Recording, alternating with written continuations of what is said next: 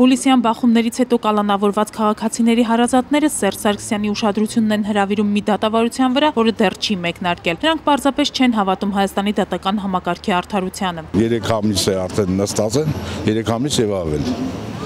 Դատական չի կայանում։ Դրա համար մենք պահանջում ենք նախագահից օբյեկտիվորեն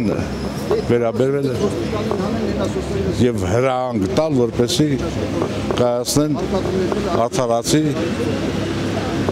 որոշում։ Պահանջում են գոնե մեզ լսի եւ մի քիչ ավելի արդար հրաման տա, որ ավելի արդար դատեն երեխաներին, եթե դատելու են, չնայած հանցանք չեն գործել։ Սոսո Մարկարյանը, Արսեն Մկրտումյանը եւ Գագիկ Միքայելյանը մեղադրվում են 46 ոստիկանների ուղությամբ քարեր նետելու մեջ։ Եթե անգամ քարը նետել են,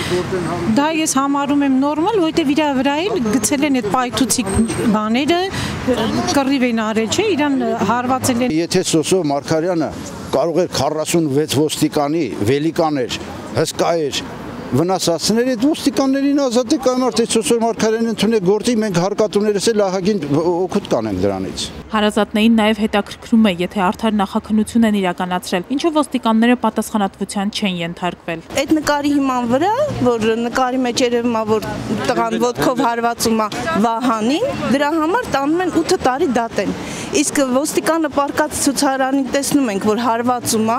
թեկուս ոդկով, թեկուս մահակով, նրան ոչ մի բան չեն անում։ Հարազատները վաղը կրկին կհավաքվեն նախագահական նստավայրի դիմաց, իսկ նոյեմբերի 4-ին տեղի կունենա այս գործով առաջին դատական նիստը։ Էրեբունի եւ Նումբարաշեն վարչական շրջանների ընդհանուր իրավասության դատարանից ընդհատության կարգով այն ուղարկվել է կենտրոնի դատարան։